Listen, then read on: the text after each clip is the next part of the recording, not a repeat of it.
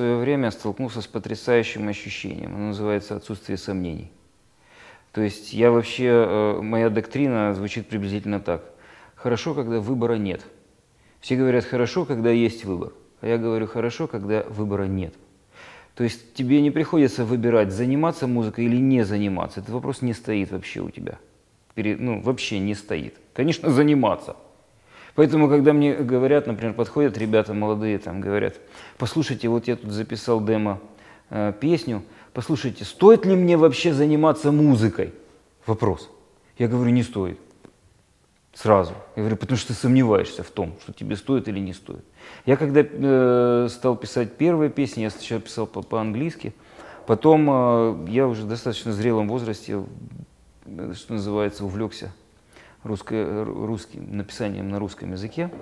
Я к тому времени просто уже был более-менее профессиональным аранжировщиком и, э, скажем, там отчасти где-то звукорежиссером, и я закончил музыкальную школу по классу классической гитары и так далее. Ну, с музыкой меня очень многое связывало. Я играл в, в бандах разных там, и так далее.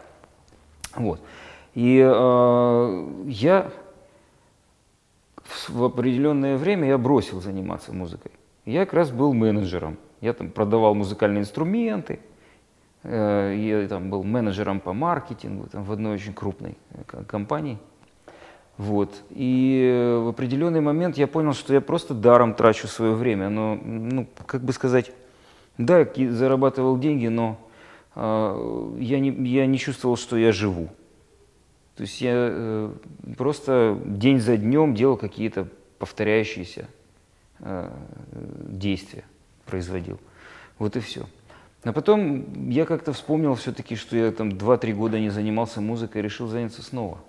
И я встретил ребят, встретил своего там, будущего друга Макса. Мы, он меня подбил на это дело. Я в итоге уволился, продал машину, еще что-то. Мы купили очень много всяких разных музыкальных инструментов, программ, компьютеры купили и так далее. И начали записывать, начали делать сначала английскую музыку, а потом я отделился, так сказать, пошел своей дорогой и стал русской музыкой заниматься. Вот. И это дало мне ощущение отсутствие, отсутствие сомнений, что я, я, у меня не было вопросов никогда, заниматься этим или не заниматься. Да?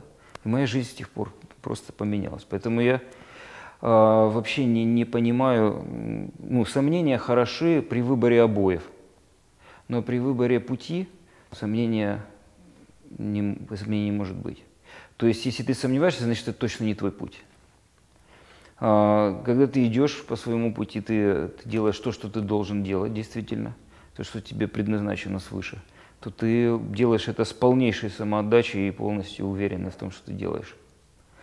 Вот. А что касается физической формы, то это просто ну, нельзя же себя запускать, да, там, там пузо отрастить, там, щеки и так далее. И нужно же быть как-то в форме физической, в случае чего Мало ли какая опасность подстерегает человека в современном мире.